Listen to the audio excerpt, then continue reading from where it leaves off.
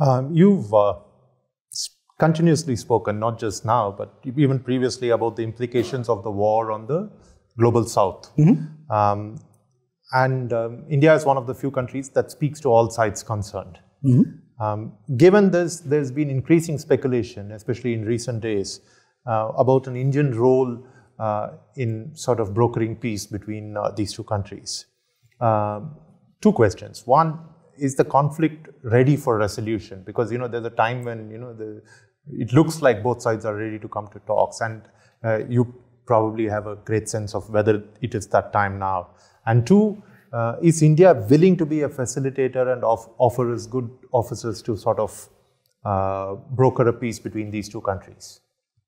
You know, uh, you asked whether the situation is ripe or is it premature? I think your question itself is premature.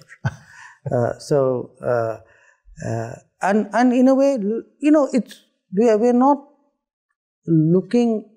We, we cannot approach today's problems with sort of uh, models or experiences drawn. This is a very very different situation in which we are in in today. Uh, my own sense is that those countries who really believe that uh, uh, the that this is, as the Prime Minister said, not an era of war, uh, who do not believe that this such issues can be settled on the battlefield, who believe that there is an urgent necessity for uh, countries to get back to the negotiating table, who can see the suffering which others are facing, the, the difficulties which others are facing, who who have nothing to do with this issue, uh, but they are collateral, uh, you know, in a sense, collateral damage uh, to, to what is happening.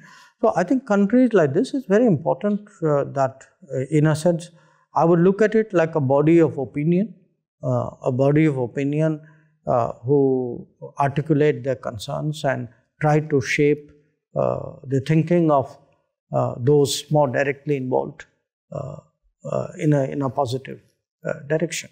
I think beyond that, to suggest anything else, I d- I don't think is, is uh, justified at this point of time.